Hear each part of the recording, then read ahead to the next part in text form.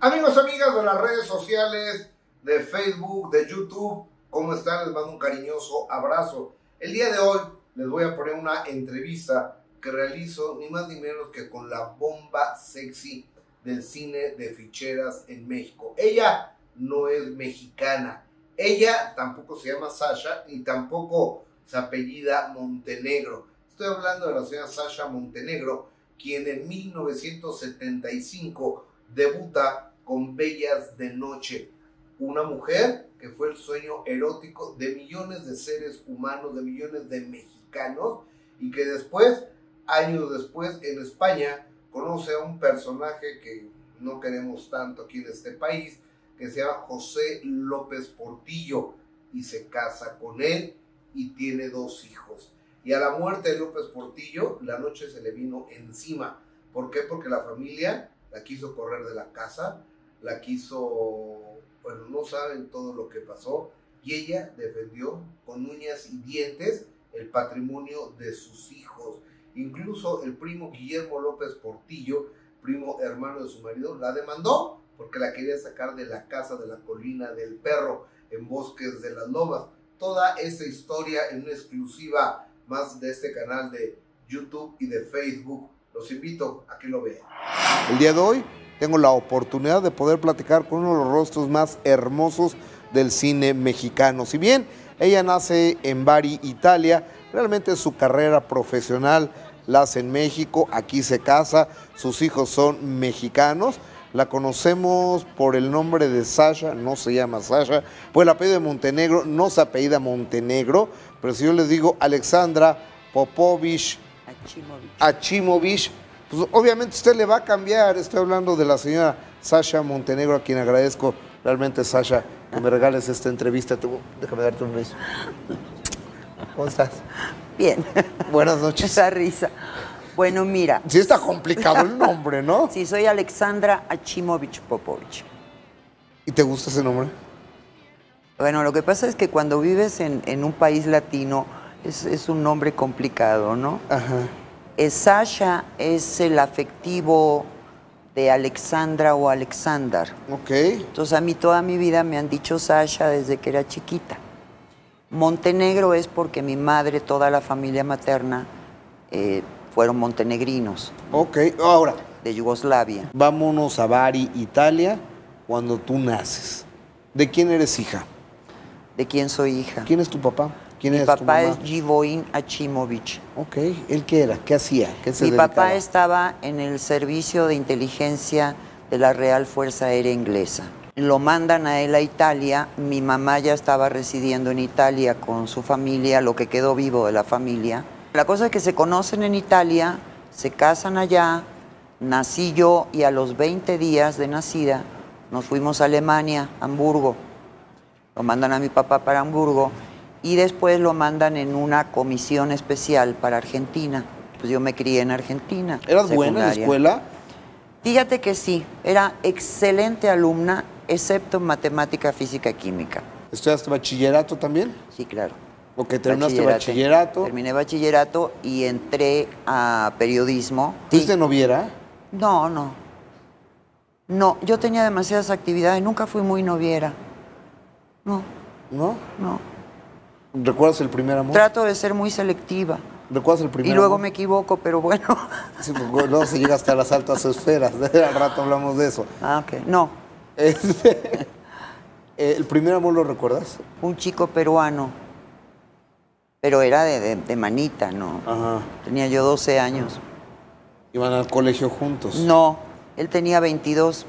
Y entonces un día me imagino que vio que era como yo media tontita. Me preguntó cuántos años tenía. Yo dije 12. Ya no lo volví a ver. Yo a los 10, 11 años ya creían que tenía 15. Primer semestre, primer año de la carrera de periodismo, Sasha Montenegro, bueno, no se llama, se llama Alexandra, ¿cómo? Alexandra Chimovich Popovich. Chimovich Popovich, decide venir a México. ¿A qué viene? ¿Por qué viene? ¿Quién la trae? ¿Por qué se queda? ¿Qué le gusta de México? Este, No, no, yo no venía a México. 21 años, no venías a México, pero llegaste a México. ¿Cómo, cómo estuvo el asunto? Bueno, yo iba a Nueva York. Ajá. Una hermana de mi madre, que actualmente vive en Canadá, estaba viviendo en Nueva York. Entonces venía yo, bueno, iba yo a Nueva York para estudiar inglés, no, una temporada. Y aparte porque la situación en Argentina estaba difícil en ese momento, ya había los problemas con los militares, eh, ya estaban deteniendo estudiantes, yo ya había estado detenida en un grupo. O sea, por una manifestación en la que estabas tú. No, yo no estaba en una manifestación, entraron a la facultad y nos detuvieron un montón. O sea, tú en la escuela entraron y te detuvieron. Nos detuvieron, no, porque fuimos muchos. Entonces todo esto estaba provocando ya en, en mi familia pues un problema. Entonces Claro. dijeron, mira, mejor vete una temporada. Entonces me iba con mi tía. Pero mi gran sueño era conocer México. Entonces cuando yo llegué a México, al día siguiente, llego con un matrimonio argentino que estaba radicando ya en México. Me llevan a una comida a los estudios Churubusco que ellos estaban invitados. Ahí conozco a Blanca Estela Limón. Y en ese momento pasa un productor de cine, pregunta quién es, Blanca Estela Limón le dice de broma, es una actriz argentina, dice la quiero para una película que empiezo con José José y Verónica Castro, y se va. Entonces, esta mujer empezó a insistirme. Le dije, señora, yo me voy en una semana, o sea, además yo no, No. soy actriz, o sea, no. Confieso la verdad, Sí. cuando me dijeron lo que me iban a pagar, dije, bueno, Voy a actuar. Pues digo, si se trata de esto, total, nadie me conoce, no es importante, no. Y dije que bueno, pues me quedo un mes en México, conozco más México. Y me quedo un mes y pues ¿Qué película fue? un sueño de amor. Verónica encantadora, todos ellos, porque hicimos esta película en Guadalajara y en Puerto Vallarta. Y un día me puse a llorar. No, yo no soy actriz, yo no. Todos me ayudaron, fueron encantadores. Verónica, encantadora. José José estaba pasando un trance difícil. Fue un excelente, sí, fue un excelente compañero. Todos. Tengo un maravilloso recuerdo de esa película. Yo regresé, regresamos de hacer la película. Me iba yo como a los cuatro o cinco días. Inmediatamente me buscaron para ayudar a conducir el concurso de Miss México junto con Raúl Velasco, bueno, Raúl Velasco que lo llevaba, Anel y yo. Entonces, como me pagaban, yo dije, bueno, Me quedo. lo hago. Fue como a los dos días. Y me buscan otros productores para, para hacer el caso de mi vidaza con los polivoces. La película. Hijazo de mí, qué maravilla los polivoces. Y entonces hago yo, hijazo de mi vidaza, uno de los cuentos. Me acuerdo que me reía yo muchísimo con ellos y entonces me regañaba el director. Me decía, señorita, todos estamos en la misma posición, sí, pero a mí me daba risa, ¿no? Buenísimos. Y así, en- ha- haciendo esa película, me buscan en foro otros productores y voy a hacer una película Durango con Rodolfo de Anda, Susana Dos Amantes y yo. Y así me fui una tras otra, tras otra. Ya llegó un momento en que dije, bueno, pues voy a probar, ¿no? Entonces di el enganche para un departamento ¿En qué zona? en Universidad y Río Churubusco a pagar a 18 años. Dije, bueno, si me voy, por lo menos recupero el dinero, ¿no? Y viví siete años en ese departamento. ¿Sola? Sí, claro. Yo siempre he vivido sola, hasta que me casé. Por matrimonio. un matrimonio. Se ha dicho, se ha especulado cosas por ahí que no son ciertas. Yo nada más me he casado una vez, tengo nada más dos hijos, no pienso volver a casarme nunca más. Con una fue suficiente. Y de repente, eh, Sasha Montenegro, te conviertes en el sueño erótico de todo el país. Perdón, señora, que te lo diga así. El sueño erótico de todo el país. Qué feo se oye. Bueno, el sueño Imposible, di en tal caso, ¿no? Pero es muy una imposible. imagen, una Pero- imagen pero- ahí en muy pantalla. imposible. Pues sí, De- accesible nunca fui, Ni serás. ni seré. El sueño imposible, quitando la palabra erótico, ponemos el sueño imposible de todo el país. Es Sasha Montenegro, regreso con esta historia de cuando llega a ser la big star de las películas. ¿Cuándo es la primera vez que te ofrecen una película donde te quites la ropa? ¿Lo recuerdas, señora? Sí, claro, fue en Bellas de Noche. Yo no quería. De hecho, no quería hacer la película.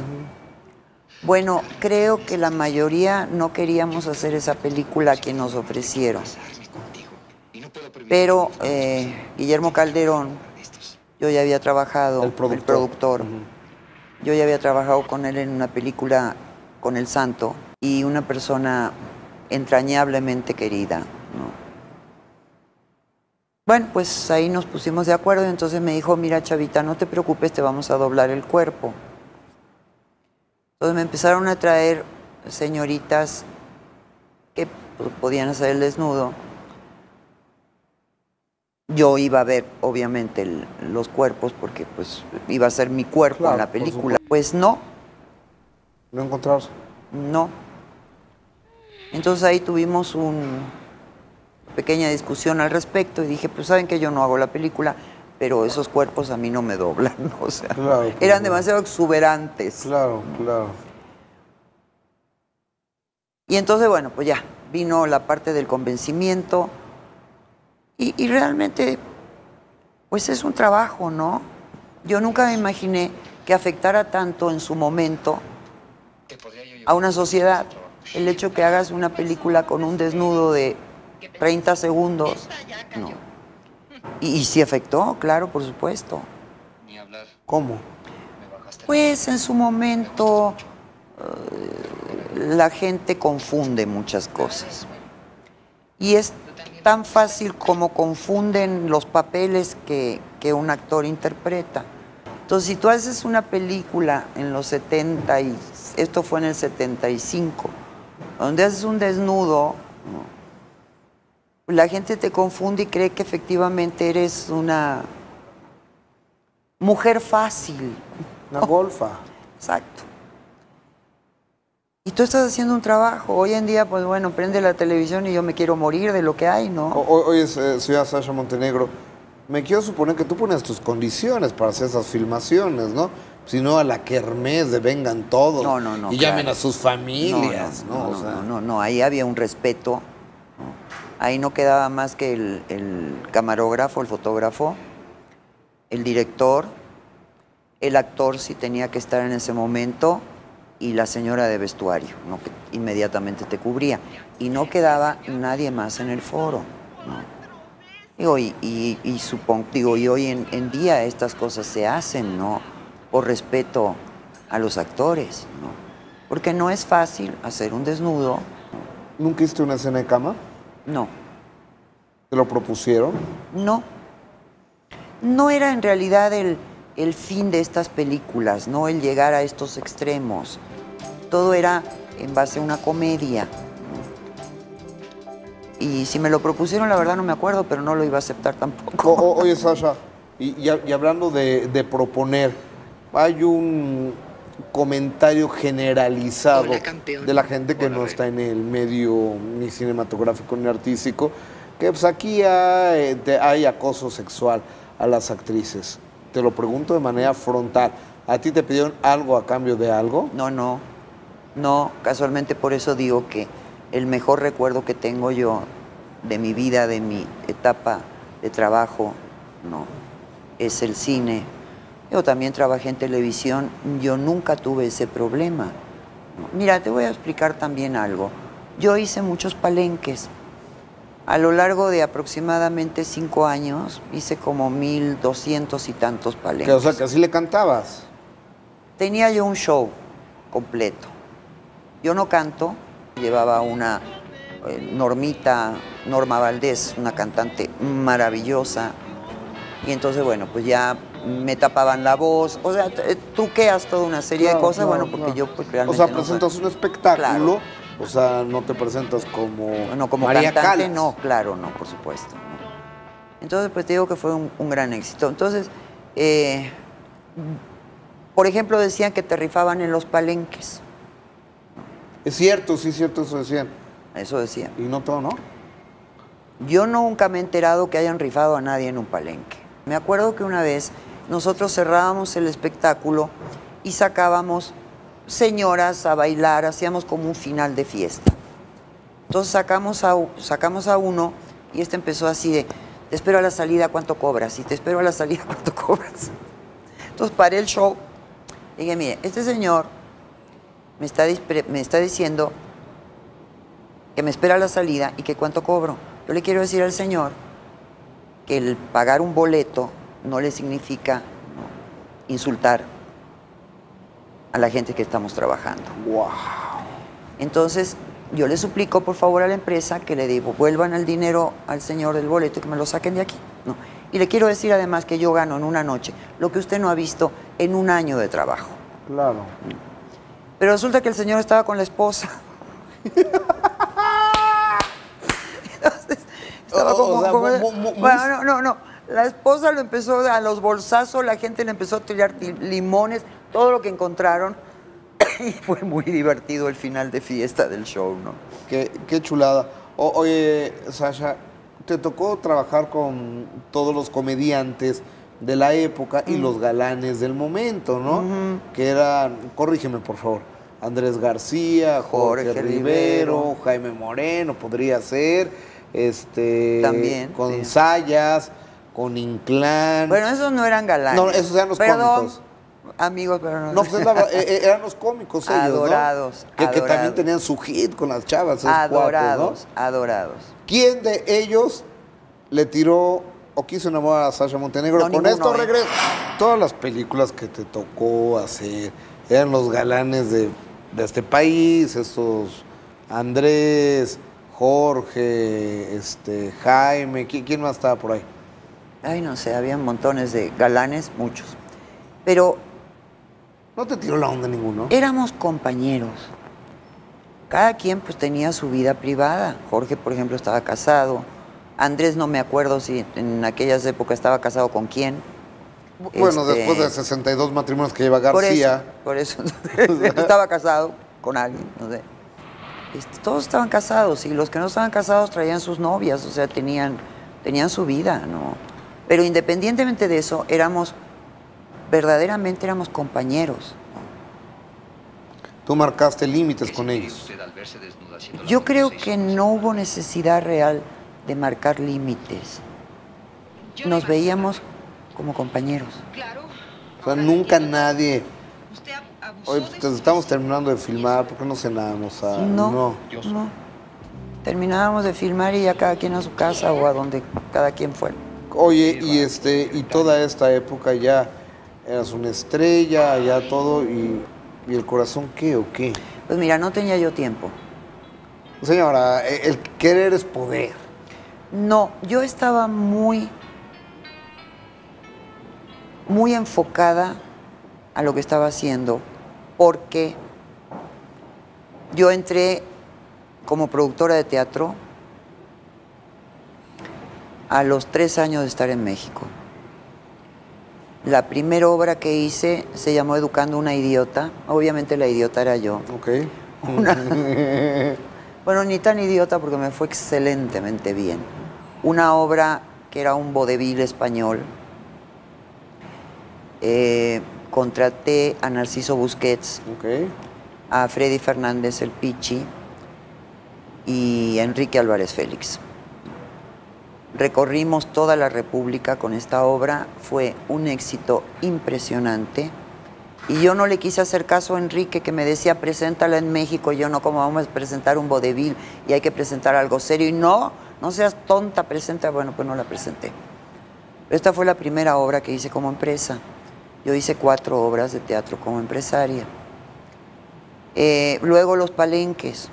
Entonces, la idea mía era, si tenía yo esta oportunidad, ¿no? De guardar dinero, de de, ganar de dinero. hacer un futuro, de guardar dinero, no sabes cuánto te va a durar esta carrera o cuánto quisiera yo también seguir, ¿no? Y cuando estás trabajando en esto, pues es muy difícil. Mira, también había mucho lo que se te acercaba, ¿no? Que eran los señores gordos, calvos, panzones, eh, cincuentones para arriba, que para mí eran viejos, ¿no? Y casados. Y casados que querían con la actricita de moda.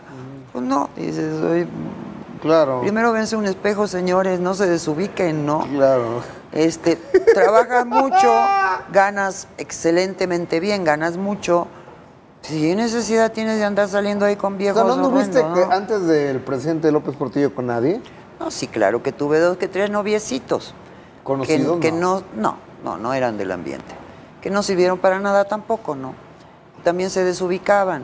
Entonces ya sabes, los ataques de celo y todas estas cuestiones extrañas. Oye, pero yo me quiero suponer que llegarle a una mujer, una figura, una estrella, una mujer empresaria teatral que palenquea, que tiene su lana, cu- cuerpazo y mega rostro de Sasha Montenegro, pues tienen que ser muy seguros y muy billetudos.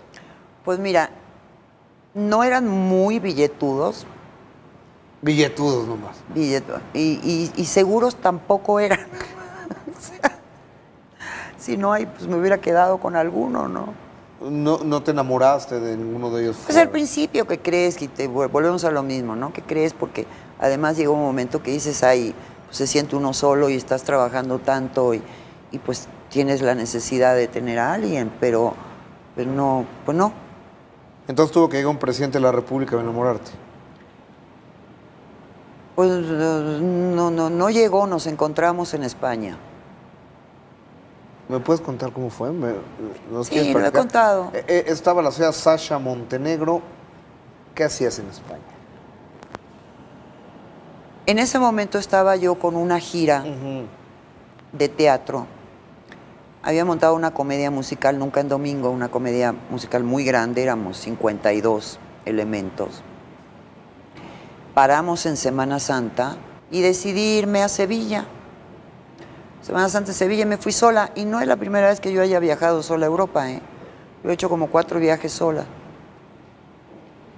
Estaba en las calles de Sevilla y estaban los pasos, estas procesiones que hacen. De pronto oigo que me dicen, Sasha. Volteo y lo veo al señor. Me dice, ¿qué hace usted aquí? No le dije, ¿qué hace usted, señor, aquí? No. Claro. Esto fue en el 84. Él ya había dejado de ser Sí, presidente. ya. Él terminó en el 82. Era expresidente de la. República. Ok. Y bueno, yo me quedé una, yo iba por una semana, me quedo la semana. Empezamos a salir. Y pues bueno, O sea, pe- pero te, ¿qué hace usted aquí? Pues, ¿qué ¿Me da usted usted su teléfono? ¿En qué hoteles está usted No, quedando? no, no, ya ahí en ese momento, pues ya, de ahí la invito a comer unas tapas y vamos y, y a ver, platíqueme y le platico y me platica. ¿Fue y amor a entre primera y vista? ¿eh? ¿Fue amor a primera vista?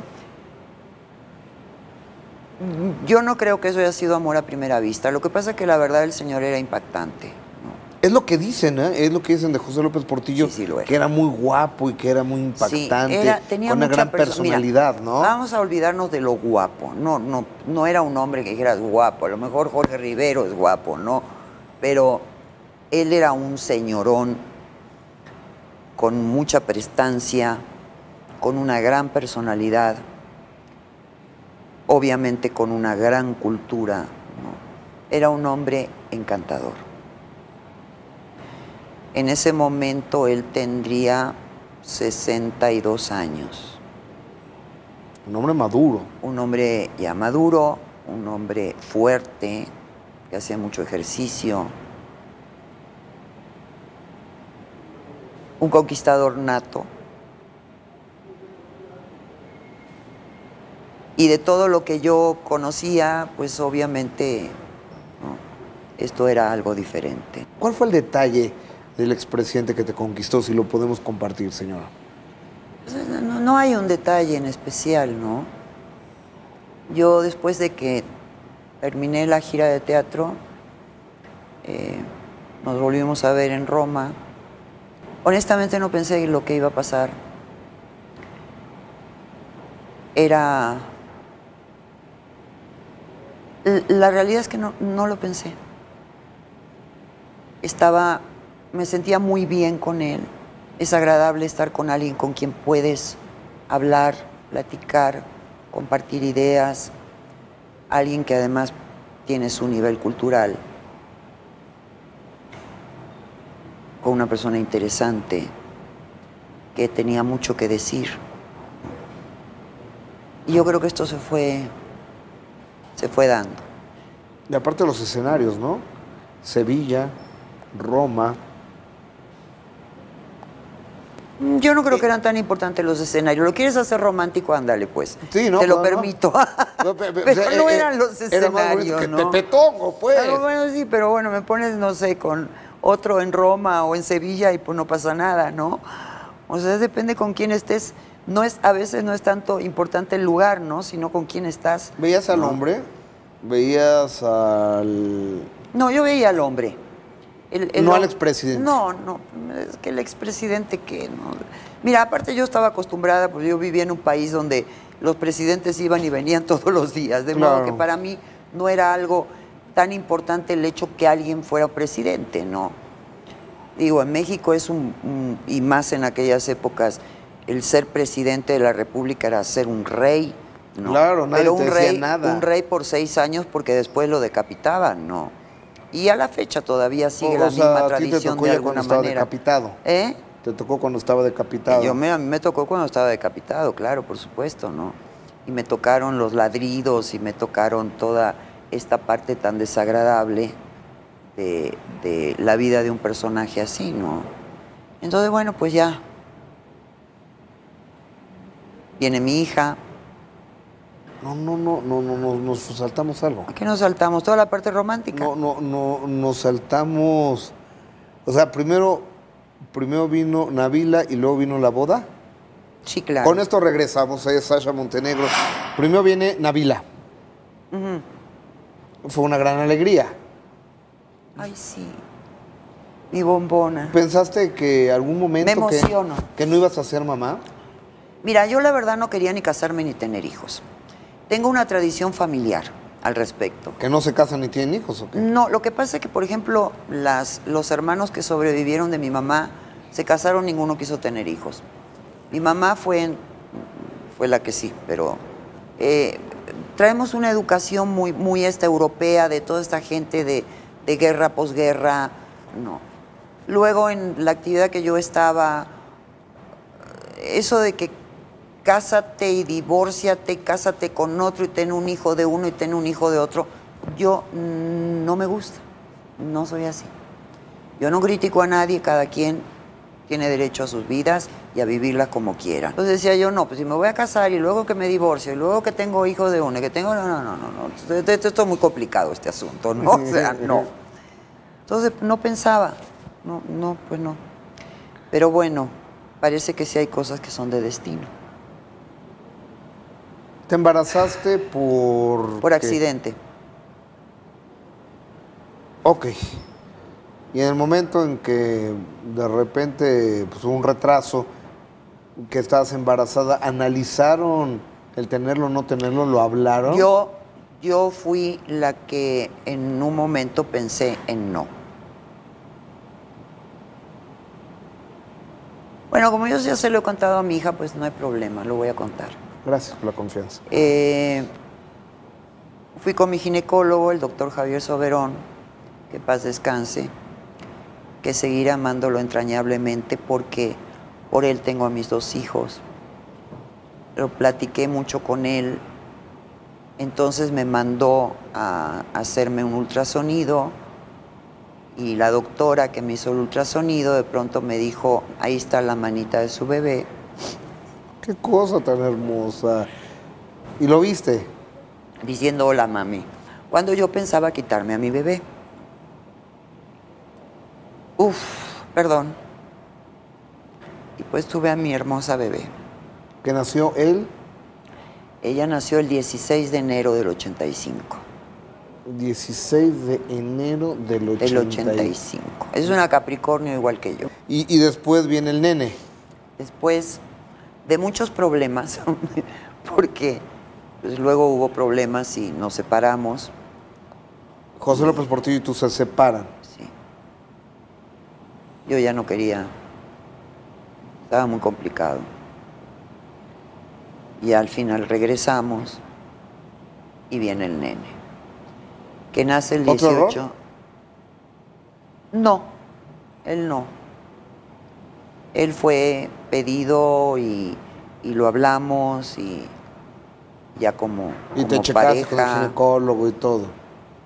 No, no me chequé con ginecólogo porque no tenía por qué checarme con ginecólogo. Yo era muy sana, soy a la fecha, espero, gracias a Dios.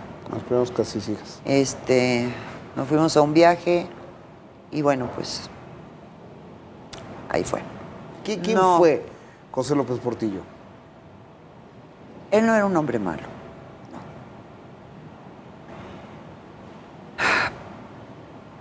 Yo creo que lo que yo viví estuvo rodeado, tenía una parte débil y estuvo rodeado de gente que no lo favoreció en lo más mínimo y gente que tampoco lo quiso. Donde hay intereses, los seres humanos quedan a un lado. Obviamente yo ya pues, tuvimos la desgracia que se enfermara en el 95, que le da el infarto cerebral. Esto lo debilita mucho. Y empieza ahí una lucha de intereses de todo lo que lo rodeaba. De todos los bienes. Yo nunca vi, yo nunca supe cuáles eran sus bienes, o sea, nunca estuve enterada, nunca.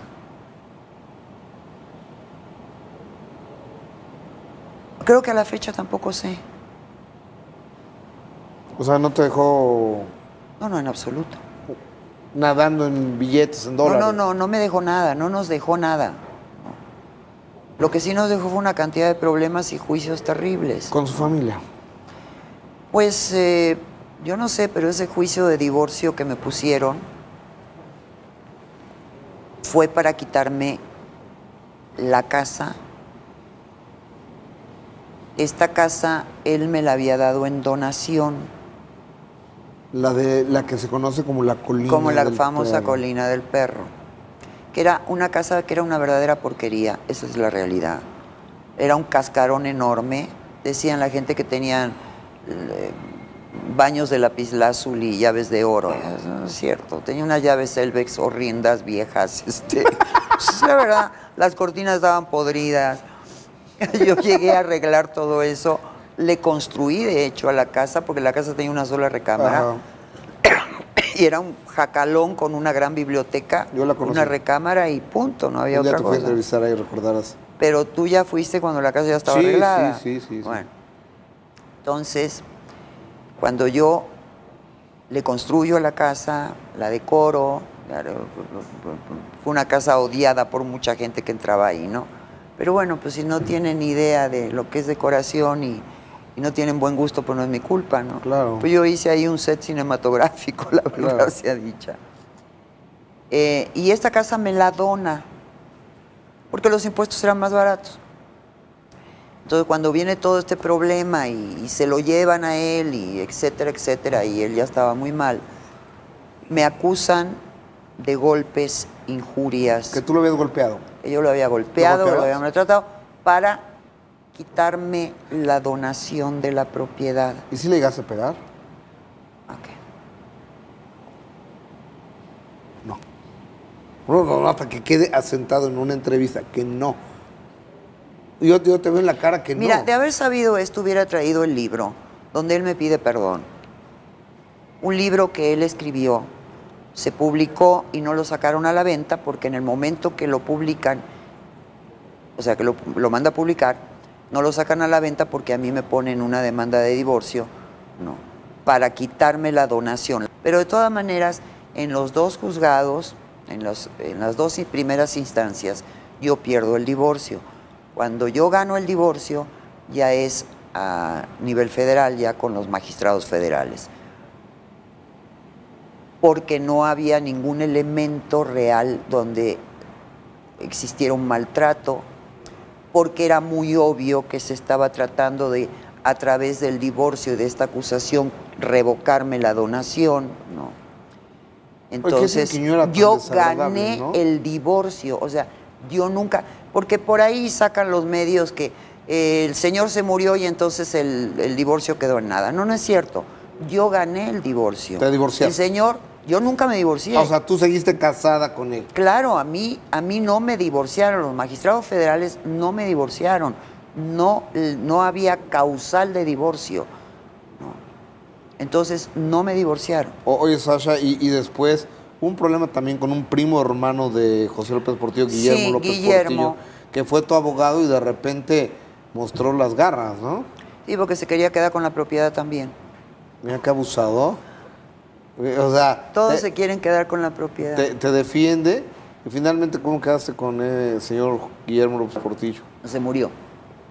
No, le ganamos el juicio también. Mi abogado, nadie quería entrarle al asunto.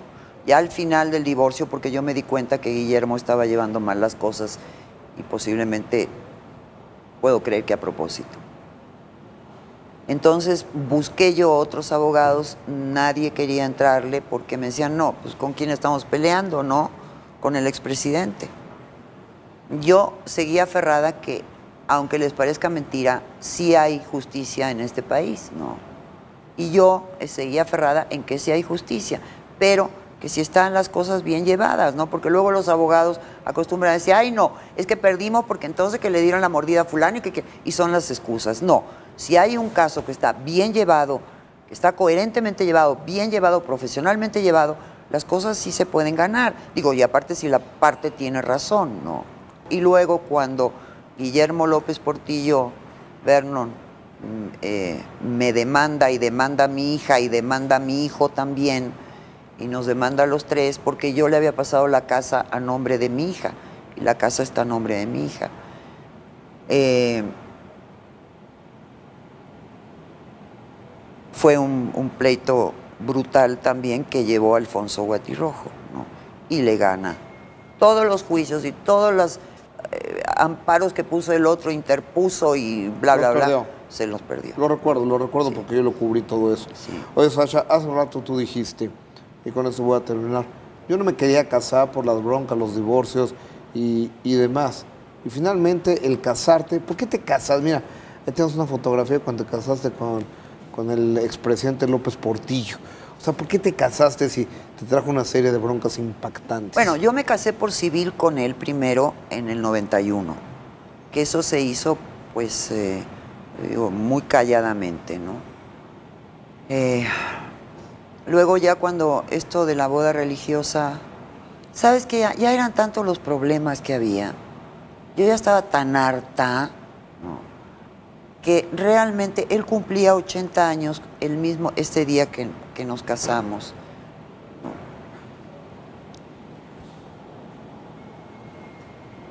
Fue un poco ya como para también olvidarnos de las especulaciones de la gente, que si casado, que si no casado, que si era el amante, que si no el amante, que no sé qué. Entonces, pues decidimos hacer esta boda religiosa, que fue muy emotiva, muy emotiva en este sentido, no porque en, su momento pensara yo que, que, era algo importante para mí, porque no. O sea, yo ya estaba casada civilmente. Y la verdad yo no soy muy religiosa, yo creo en Dios, pero no, no ando dándome golpes de pecho en las iglesias, ¿no? Digo, bueno. Entonces, en el momento en que nos está casando el padre y que te dicen que en salud y en enfermedad, y no es que mi hijo viene, ay, voy a llorar otra vez, ¿no? Viene mi hijo. Es tu programa. Nos teníamos agarrados de la mano, Pepe y yo, y entonces viene mi hijo y pone su manita arriba de la nuestra y luego viene mi hija y pues entonces era un, matrimonio de cuatro, ¿no? Qué bonito. Sí, fue muy bonito, muy bonito. Qué, bonito. Y, entonces en ese momento sí. Sasha, muy, muy especial. Y así bonito, quiero cerrar esta conversación contigo. Quiero agradecerte. Ay. Tu sinceridad. Ay, por Dios. Tu corazón. ¿Sabes qué? El corazón. Yo no quería hablar de esto. El ¿eh? corazón que tienes, porque yo pensé que nomás la madre mexicana tenía la garra que Sasha Montenegro ha demostrado toda la vida tener. Y cuando tiene que defender a sus cachorros, eres peor que una, que una loba, peor que una leona. Gracias, Sasha, por estar aquí. Gracias. Hasta siempre. Gracias. Te respeto y te admiro mucho. Gracias. Gracias.